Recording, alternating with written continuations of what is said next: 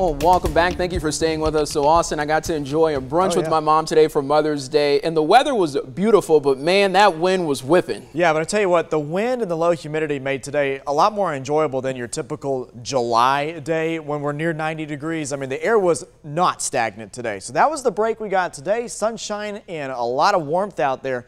Now we're bringing back the moisture to central Georgia, and we'll have to bump up the rain chances as well. But the rest of your evening is looking good. We've got sunshine at 86 in Macon right now.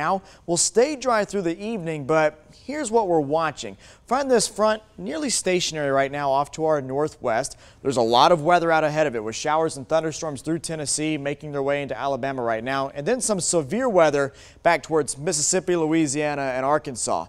The severe weather threat likely won't translate here. Those best ingredients are going to stay well to our northwest, but we are going to bump up the chances for showers and thunderstorms as we look ahead to your Monday. So here's the timeline. Again, the rest of this evening is looking great. It's still going to be breezy out there. We're going to bump up the, the, humidity a little bit, but we should stay dry. Now by 9 and 10 and 11 o'clock tonight, we are watching that cluster of thunderstorms make its way into northern Georgia. I think because the storms are going to outrace their ingredients and because we're going to be losing that daytime heating, these storms should really weaken before they have a chance to reach central Georgia. So as we fast forward to 3 in the morning, you see that big time cluster of thunderstorms is now just a group of some light showers trying to push into our northwestern community. So if you live out north and west of Macon tonight, you may run into that, but for the most part, it should be a quiet night. For Monday, as that cold front gets closer to us, and as we start to warm up the temperatures again, we'll likely bubble up some showers and thunderstorms, especially for the afternoon.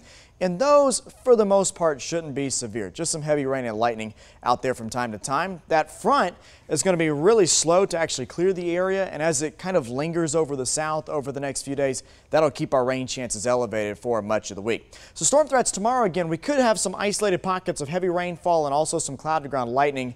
But severe weather threats, damaging winds and hail look to be really, really low. And I'm not expecting any threat for tornadoes as we kick off your work week. Now let's fast forward to Tuesday. We still have the cold front now south of our area and there's not going to be a real good clearing behind that cold front. We'll have a couple weather disturbances riding along it to give us some rain chances.